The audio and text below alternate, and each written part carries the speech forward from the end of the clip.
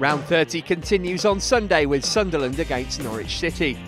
The Wearsiders were put to the sword at bottom club Queen's Park Rangers last week, losing 3 1 despite taking the lead. That defeat left the Black Cats without a win in their last six, and with just nine games to go, they still aren't guaranteed of Premier League safety.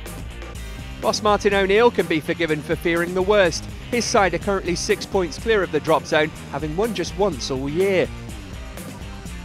Norwich took a point from a goalless draw with Southampton last time out, but it should have been all three had Grant Holt not squandered a stoppage time penalty.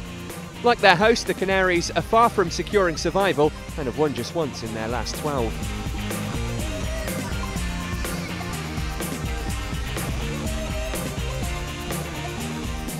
West Ham United travelled to Stamford Bridge looking for a league double over Chelsea.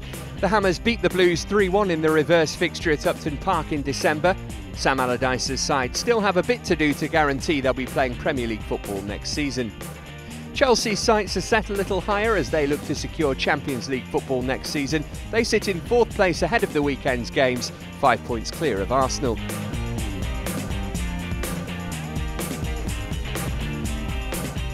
Newcastle United travel to the DW Stadium to face relegation threatened Wigan Athletic.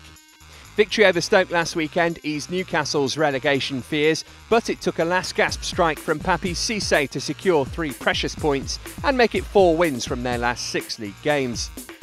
Wigan's last Premier League outing ended in a dismal 4 0 home reverse by Liverpool, but the Latics were rejuvenated by their FA Cup success at Everton last week and will have renewed hope of beating the drop.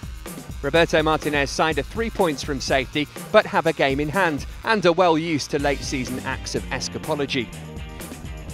Elsewhere, Tottenham host Fulham in a game which sees Martin Jol return to face his former club.